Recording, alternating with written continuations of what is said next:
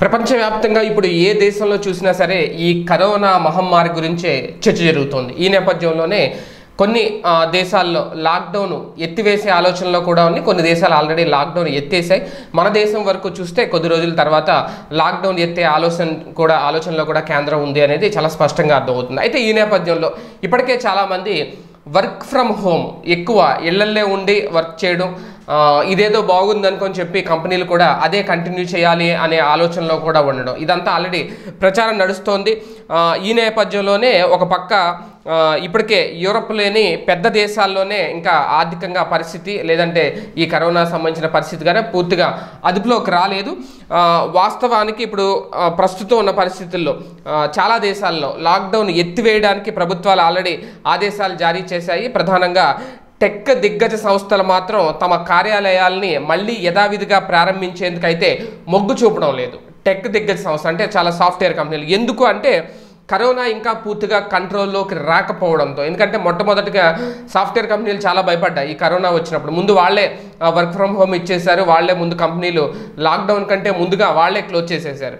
అయితే ఇప్పుడు పూర్తిగా కంట్రోల్లో రాని నేపథ్యంలో ఇప్పుడు ఉద్యోగుల్ని ఆఫీసులకి అనుమతించడానికి వాళ్ళు అంగీకరించట్లేదు. ఇప్పటివరకు వర్క్ ఫ్రమ్ హోమ్ ఎలా కొనసాగిస్తున్నారో అలాగే అదే సేఫ్టీ అవసరమైతే రెండు వేల ఇరవై ఒకటి వరకు వర్క్ ఫ్రమ్ హోమ్లోనే కొనసాగాలి అని చెప్పి కొన్ని కంపెనీలు నిర్ణయం తీసుకున్నాయి. అయితే ఇందులో తాజాగా ఒకవేళ ఎవరైనా ఆఫీసులకు వచ్చి వర్క్ చేస్తామంటే ఎటువంటి అభ్యంతరం చెప్పరు.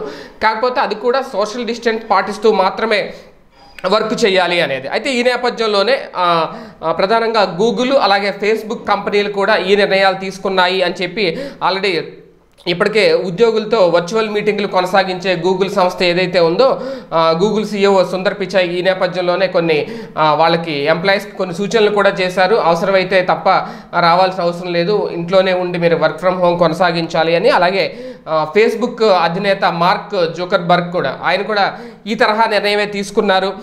ఉద్యోగులు అంటే ఇంకొక ఏడాది పాటు దాదాపు రెండు వేల ఇరవై ఒకటి వరకు ఖచ్చితంగా వర్క్ ఫ్రమ్ హోమ్ కొనసాగించిన తర్వాతే అప్పుడు పరిస్థితిని బట్టి కంట్రోల్ పూర్తిగా కరోనా పూర్తిగా కంట్రోల్లోకి వస్తేనే అప్పుడు ఆఫీస్కి రావాలి లేదంటే వర్క్ ఫ్రమ్ హోమే కొనసాగించాలి అనేది. ఒకవేళ అంటే గూగుల్ ఫేస్బుక్ వంటి పెద్ద టెక్ దిగ్గజ సంస్థలే ఈ నిర్ణయం తీసుకుంటే ఇంకా మిగిలిన సాఫ్ట్వేర్ కంపెనీలు కూడా ఇదే బాటలో నడవబోతున్నాయి అనే ఒక ప్రచారం జరుగుతుంది. ఒకవేళ అదే కనుక జరిగితే ఇక వర్క్ ఫ్రమ్ హోమ్కే పరిమితం కావాల్సి వస్తుందా? టెక్ ఉద్యోగులందరూ కూడా సాఫ్ట్వేర్ ఉద్యోగులందరూ కూడా రెండు వేల ఇరవై ఒకటి వరకు ఈ తరహాలోనే ఉద్యోగాలు చేయాలా? అది ఎంతవరకు వర్కౌట్ అవుతుంది? ఒకవేళ అది నిజంగా సాధ్యమైతే కనుక మిగిలిన కంపెనీలు కూడా అదే బాటలో నడుస్తాయా? ఏం జరుగుతుంది అనేది వేచి చూడాలి. ఈ వీడియో గనక మీకు నచ్చినట్లయితే లైక్ చేయండి షేర్ చేయండి. మరిన్ని వీడియోస్ కోసం మా ఛానల్ను సబ్స్క్రైబ్ చేయండి.